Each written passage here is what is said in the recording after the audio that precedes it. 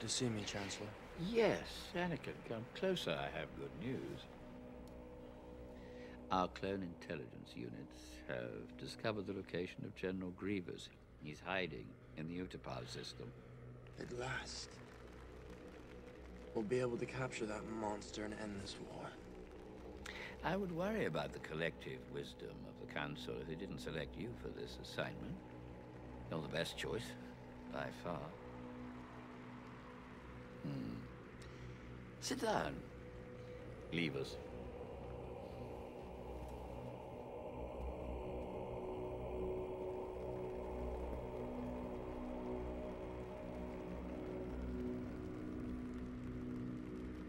Anakin, you know I'm not able to rely on the Jedi Council.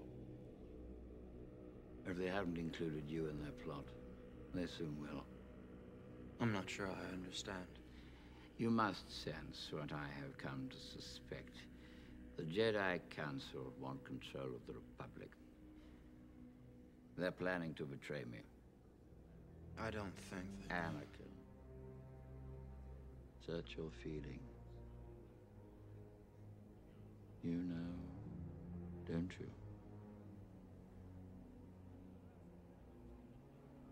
I know they don't trust you. Hmm. Or the Senate. Or the Republic. Or democracy, for that matter. I have to admit, my trust in them has been shaken. Why?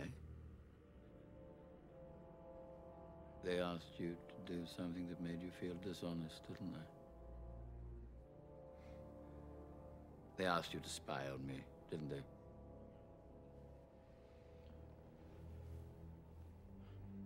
I don't. I don't know what to say. Remember back to your early teachings. All who gain power are afraid to lose it, even the Jedi. The Jedi use their power for good. Good is a point of view, Anakin. The Sith and the Jedi are similar in almost every way, including their quest for greater power. The Sith rely on their passion for their strength. They think inwards, only about themselves. And the Jedi don't. The Jedi are selfless. They only care about others.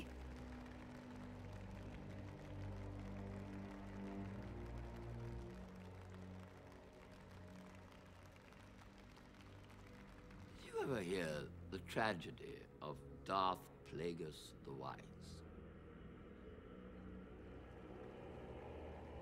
No. I thought not. It's not a story the Jedi would tell you. It's a Sith legend. Darth Plagueis was a dark lord of the Sith, so powerful and so wise, he could use the Force to influence the midi-chlorians to create life. He had such a knowledge of the dark side, he could even keep the ones he cared about from dying. He could actually save people from death. The dark side of the Force is a pathway to many abilities some consider to be unnatural. What happened to him? He became so powerful. The only thing he was afraid of was losing his power, which eventually, of course, he did. Unfortunately, he taught his apprentice everything he knew. Then his apprentice killed him in his sleep. It's ironic. He could save others from death, but not himself. Is it possible to learn this power? Not from a Jedi.